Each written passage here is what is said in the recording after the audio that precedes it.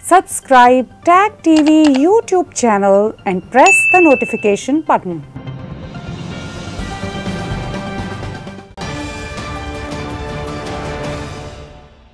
असलम नाजरीन tag TV के Pakistan studio के साथ मैं हूँ रुखसा शहजाद। सबसे पहले शामिल करते हैं न्यूज़ हेडलाइंस पाकिस्तान में कोरोना मजीद खतरनाक हो गया। मौलिक वायरस ने 24 घंटों के दौरान मजीद 105 जिंदगियाँ निगल लीं। एक ही दिन में 2731 नए मरीज़ रजिस्टर्ड किए गए। महदूद वसाइल के बावजूद पी आई सी पिशावर की तकमील काबिल तहसीन है। वजी अजम इमरान खान कहते हैं, आवाम की सेहत का ख्याल रखना हुकूमत की अवलिन तरजीह है। इसलाहत का मकसद हस्पतालों की कारकर्दगी बेहतर करना है।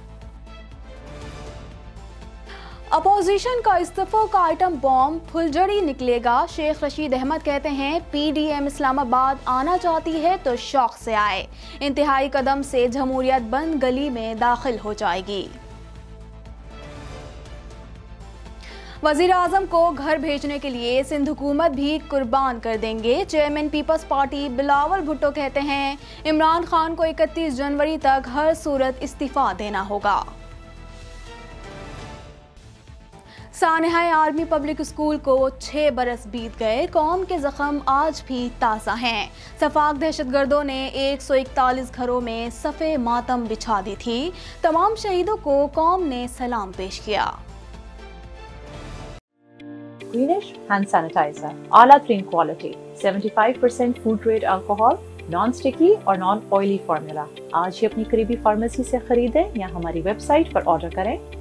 www.greenish.com कनाडा में आपके पास डॉक्टर और लॉयर होना बहुत ज़रूरी है। हम आपको बताने जा रहे हैं एक ऐसा नाम जो है reliable trustworthy and honest law firm of Shikha Sharda 905-956-6699 for family law real estate wills और किसी भी तरह के एफिडेविट या पैरा लीगल प्रॉब्लम्स के लिए law firm of Shikha Sharda 905-956-6699 पहली कंसल्टेशन बिल्कुल फ्री है call lawyer Shikha Sharda 905-956-6699 national command and operation centre के मुताबिक मुल्क में अमवात की मजमू तादाद नौ हज़ार दस हो गई है जबकि कोरोना के तस्दीक शुदा मरीजों की तादाद चार लाख पैंतालीस हज़ार से तजावज़ कर चुकी है मजीद जानते हैं इस रिपोर्ट में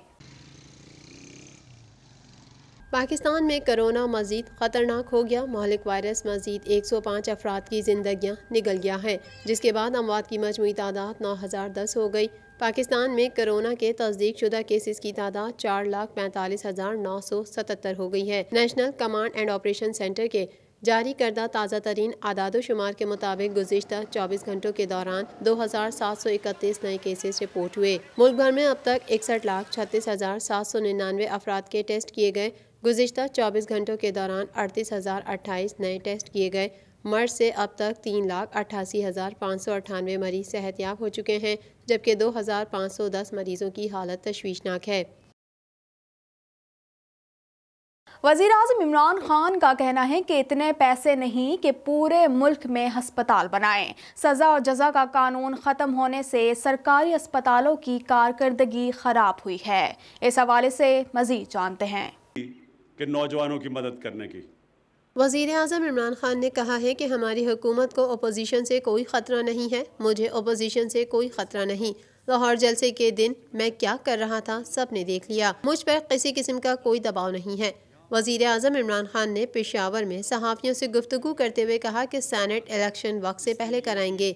शो ऑफ़ हैंड के ज़रिए इलेक्शन के लिए सुप्रीम कोर्ट से रुजू कर रहे हैं। उन्होंने मजीद कहा कि हुकूमत के लिए सैनट इंतबात में हॉर्स ट्रेडिंग आसान होती है। हमने बीस एम पी ईस को पार्टी से निकाला क्योंकि हम शफाफ इंतबात पर यकीन रखते हैं। कबल अजी पी आई सी की अफ्ताही तकरीब से खिताब करते हुए वज़ीर अजम इमरान खान का कहना था कि पेशावर में अभी तक अमराज कल्ब का कोई अस्पताल न था। यहाँ इंस्टीट्यूट ऑफ़ कार्डियोलॉजी की बहुत ज़रूरत थी। अफ़गानिस्तान से भी मरीज़ पेशावर इलाज कराने आएँगे। वज़ीर अजम का कहना था, आवाम की सेहत का ख्याल रखना हुकूमत की अवलिन तरजीह है। सज़ा और जजा का कानून ख़त्म होने से गवर्नमेंट अस्पतालों की कारकर्दगी ख़राब हुई। वज़ीर अजम ने कहा है कि महदूद वसाइल के बावजूद पी आई सी पेशावर की तकमील काबिल तहसीन है। और प्राइवेट सेक्टर आ रहा है अब हॉस्पिटल्स बनाने के लिए। क्योंकि जिसके पास हेल्थ कार्ड होगा, वो गवर्नमेंट हॉस्पिटल या प्राइवेट हॉस्पिटल कहीं भी जा सकता अपना इलाज करवाने के लिए। वफाकी वज़ीर दाखिला शेख रशीद अहमद ने कहा है कि तमाम अपोजिशन से मस्बत गुफ्तु करना चाहते हैं। सियासत में पीपल्स पार्टी को बेहतर पोजीशन में देख रहा हूँ। यकीन है शहबाज शरीफ भी मस्बत सोच के साथ सियासत को आगे बढ़ाएँगे। मजीद तफसीलात इस रिपोर्ट में। विफाकी वज़ीर दाखिला शेख रशीद अहमद ने कहा है कि बिलावल ने इस्तीफ़ों का एटम बम चलाने की धमकी दे दी है। लेकिन मुझे यकीन है वो फुलझड़ी होगी, क्योंकि पीपल्स पार्टी जमहूरी अमल पर यकीन रखती है।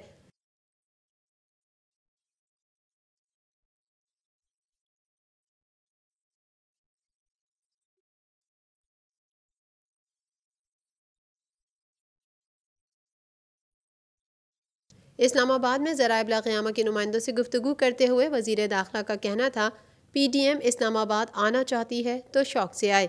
इंतहाई कदम से जमहूरियत बंद गली में दाखिल हो जाएगी। विफाकी वज़ीर दाखिला का कहना था कि तमाम अपोजिशन से मुस्बत मुजाकर चाहते हैं। पीपल्स पार्टी ने सिर्फ़ जमहूरी अमल को सपोर्ट किया। सियासत में पीपल्स पार्टी को बेहतर पोजीशन पर देख रहा हूँ।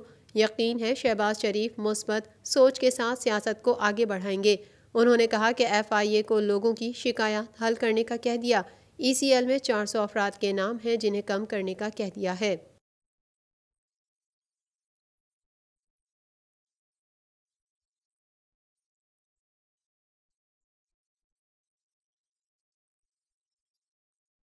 पाकिस्तान पीपल्स पार्टी के चेयरमैन बिलावल भुट्टो ने कहा है कि हुक्मरान घबराहट का शिकार हो चुके हैं।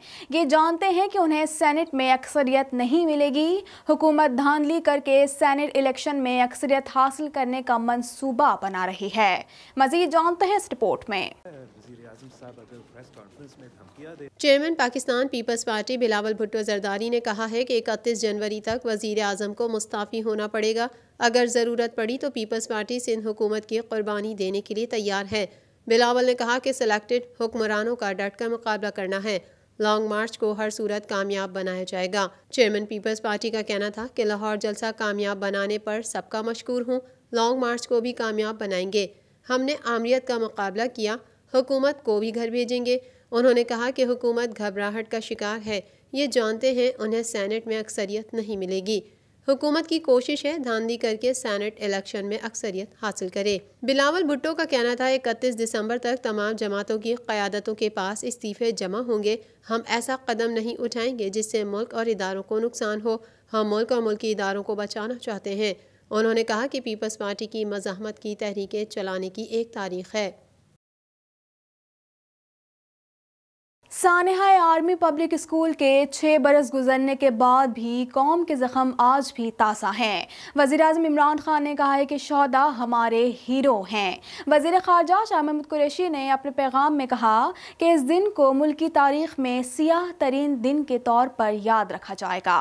मज़ीद जानते हैं इस रिपोर्ट में। पेशावर में छः साल कबल होने वाले सानहा आर्मी पब्लिक स्कूल में शहीद होने वालों की आज छठी बरसी मनाई जा रही है। 16 दिसंबर 2014 को सफाक दहशत गर्दों ने ए पी एस पर बुजदिलाना कार्रवाई करते हुए एक सौ बत्तीस तालब इलमों और अमले के सत्रह अफराद को शहीद कर दिया था। उस दिन ए पी एस में हसूल इलम में मशगूल तालब इल्म ऑडिटोरियम में जमा थे कि स्कूल के अकबी रास्ते से सफाक कातिल दाखिल हुए और हर तरफ़ गोलियों की बोछाड़ कर दी। और स्कूल के अंदर मासूम बच्चों को खून में नहला दिया। हमले की छठी बरसी के सिलसिले में मरकजी तकरीब ए पी एस कैंपस के शौदा हॉल में मुनद की जाएगी, जिसमें गमजदा वालदेन शिरकत करेंगे। सानहे को पाँच साल पूरे होने के बाद आज भी बिछड़ने वालों का गम उसी तरह ताज़ा है। वज़ीर अजम इमरान खान ने सानहे में शहीद होने वालों और उनके अहल खाना को खराज तहसीन पेश करते हुए कहा है कि दहशत गर्दी के इस इंतहाई इंधनाक हमले पर पूरी कौम आज भी गमजदा है। और ये नन्हे हीरोज़ हमारा फ़ख्र हैं। ए पी एस वाक़े के बाद कौम ने मिलकर दहशत गर्दों से लड़ने का फैसला किया। वज़ीर खारजा शाह महमूद कुरैशी ने कहा कि ए पी एस के अंधनाक और दिल खराश सानहे के गम आज भी ताज़ा हैं। इस दिन को मुल्क की तारीख में सियाह तरीन दिन के तौर पर याद रखा जाएगा। मासूम फूलों की लाजवाल कुर्बानी ने पूरी कौम को यकजा किया। मासूमों की कुर्बानियाँ रंग लाएँगी। दहशत गर्दी की इस अफरियत को जड़ से उखाड़ कर दम लेंगे। मजीद खबरें भी बुलेटिन का हिस्सा होंगी, मगर इस ब्रेक के बाद। Subscribe Tag TV YouTube channel and press the notification button